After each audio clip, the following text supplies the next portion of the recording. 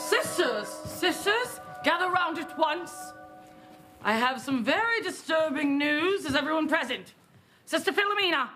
Present. Sister Elizabeth. Here. Sister Florentina. Present. Sister Genevieve. Yeah, I'm with it. Sister Catherine. Missing. JK, totally here. Sister Mary. Present. And Sister Teresa. I am here. I'm sorry for disrupting our morning prayers, but something very upsetting has come to my attention. You found my Cain and Abel fanfic? What? No. I'm afraid that there's may have been a man posing as a nun hiding amongst us in order to sleep with other nuns.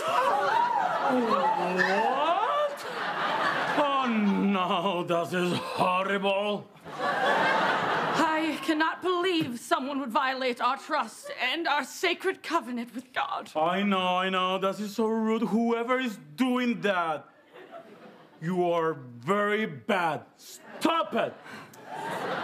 Yeah, I bet they're bad and so, so good. I bet they can't do it again in the garden right after lunch. I take that bet. Sisters, no gambling.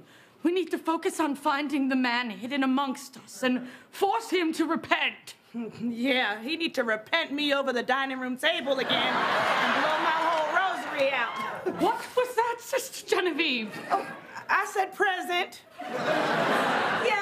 Yeah, and I said present me with that wiener again, and you can call me Joey Chestnut with how fast I gobble it down. Sisters, can we please focus on the evil man trying to corrupt our precious virgin souls? Sadly, this man or woman is clearly so sexy that even God cannot stop him. we need to think about the virgins. Spend time with the virgins. Give the virgins everything we got. Besides, I heard God can't see it as long as you do it in the bell tower, and the man uses his penis to ring the bell and yell, Ding dong! Sadly, ding dong is what I heard also about that man. I don't know why everyone's not more outraged. Whoever is agreeing to have sex with this man is just as guilty as he is. Yeah, or maybe there's one nun who's getting none. Excuse me? Yeah, maybe it's because she's a little string bean. And when he tried to hit the bell with his penis, it doesn't go ding dong. It goes wah wah. That is enough! I'll give him one final chance to confess. Yeah, confess. Whoever you are, you beautiful monster, you sexual king, just admit what you did.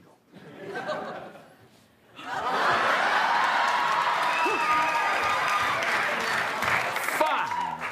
I confess. It was me. Oh,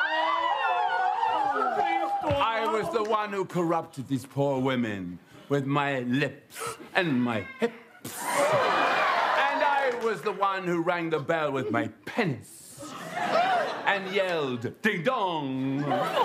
Sister Kevin, how could you betray us like this? I know.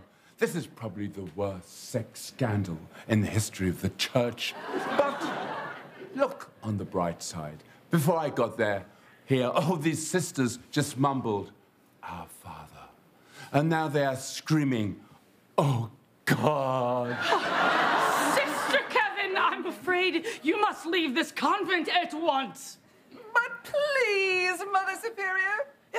Can't he stay and sleep with us for a few more weeks? It is almost Halloween. Yeah, please. Well, I suppose we are in a very isolated part of Austria, and it is almost Halloween. Oh, F it, why not? Sister Kevin can stay! Now let's go, sisters. I think I'm ready for the second coming. Sister Act 3, Kevin Gone Wild, coming straight to Peacock against Whoopi's wishes.